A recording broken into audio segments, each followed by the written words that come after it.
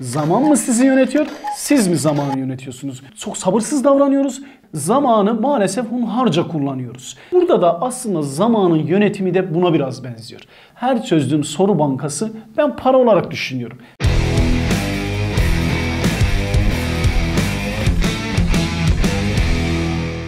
Evet arkadaşlar merhaba. Bugünkü videomuzun konusu zaman yönetimi. Herkesin hemen hemen geçmişten günümüze kadar belki de hayatında en hunharca harcadığı unsurlardan birisi zaman.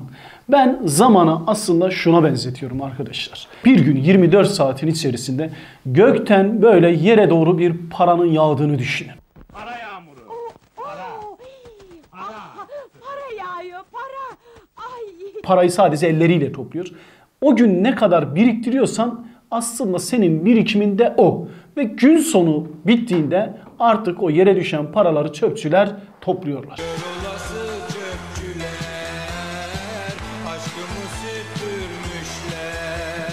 Burada da aslında zamanın yönetimi de buna biraz benziyor. Sen gün içerisinde gökten yağan bütün o paralardan ne kadar topladın? Ne kadar birikim yaptın? Bu aslında sınav sürecinde buna biraz benziyor. Zaman yönetimi sınav sürecinde de günlük yapacağın eylemler, günlük uygulayacağın yöntemler, uygulayacağın derslere yönelik içerikler senin zaman yönetimini belirleyecek. Zaman yönetimindeki en önemli unsurlardan birisi neyi, ne zaman, nasıl yapacağım? Bu son derece önemli. Yani sınav sürecindeki zamanı yönetme açısından belki de en önemli unsurlardan birisi neyi, ne zaman ve nerede yapacağım. Bu son derece önemli. Öğrencilerle biz sahada çalışırken böyle zamanı maalesef hunharca kullanıyoruz. Çok sabırsız davranıyoruz. Bir an önce her şeyin gelişmesini bekliyoruz. Bir an önce bazı şeylerin hemen değişmesiyle ilgili böyle bir beklenti içerisine giriyoruz. Bu maalesef böyle gerçekleşmiyor. Her şeyde olduğu gibi her şeyin bir zamanı var. Zamanı doğru kullanabilmenin en önemli unsurlarından birisi zamanı sizin yönetmeniz. Zaman mı sizi yönetiyor, siz mi zamanı yönetiyorsunuz? Bu unsur sınav sürecinde son derece önemli. Eğer zaman sizi yönetmeye başladıysa o zaman dış etkenlerin içerisindesiniz. Eğer siz zamanı yönetmeye başladıysanız evet her şey sizin kontrolünüzün altında. Bunu şöyle düşünün. Arkadaşlar eğer sizin kendinize ait bir zaman planlaması, bir zaman yönetiminiz yoksa dışarıdaki etkenler sizi alır kucağına ve yönetmeye başlar. Bu sefer artık siz kendiniz olmaktan çıkar, o zamanın ruhuna uyarak o zamana göre hareket edersiniz. Eğer siz kendi zamanınızı yönetmeye başlarsanız bu sefer kendinize ait bir zaman yönetimi ortaya çıkar. Neyi, nereden, ne zaman yapacağım? Kendinize ait bir zaman sistemi ortaya çıkar. Yerel saatler, ulusal saatler diye hatta bilimsel olarak metotlanmış unsurlar da var. Ama bu unsurlara baktığınız zaman yerel saate ben bunu benzetiyorum. Her ilin kendine ait bir yerel saati varsa, her meridyenin kendine ait bir yerel saati varsa bence her insanın da kendine ait bir saati var. Kendine ait bir zamanı var. Bu zaman tamamen bireyseldir. Bireysel olarak yönetilmelidir. Sınav sürecinde de özellikle zaman yönetiminde dediğim gibi biraz sabırsız davranıyoruz ve hunharca da maalesef harcıyoruz. Bunu olumlu yönde harcayan birçok arkadaşımız da tabii ki var. Bir öğrencim bana şu örneği vermişti zaman yönetiminde beni çok etkilemişti arkadaşlar. Bunu sizinle paylaşmak istiyorum. Şu an kendisi bir e, özel bir üniversitede tıp fakültesinde okuyor. O öğrencim zamanı şuna benzetmişti. Böyle çok güzel, sistemli ve düzenli ders çalışıyordu. Zaman hocam dedi aslında bir bankamatik düşünün. Bankamatiğe sürekli böyle bir para yatırıyorsunuz. O para belli bir süre sonra size geri gelecek. Bugün de bu videoda biraz para üzerinden gittik de arkadaşlar bilemiyorum çok mu paracıyım ya da parayı mı çok fazla ön plana çıkardık. Bu da artık düşünülür, tartışılır. Para! Bu öğrencim dedi ki hocam benim aslında her çözdüğüm soru, her çözdüğüm soru bankası ben para olarak düşünüyorum. Sisteme yatırıyorum. Yatırıyorum, yatırıyorum. Belki de bir süre sonra bunu tekrar ben geri alacağım. Evet bana çok mantıklı geldi arkadaşlar.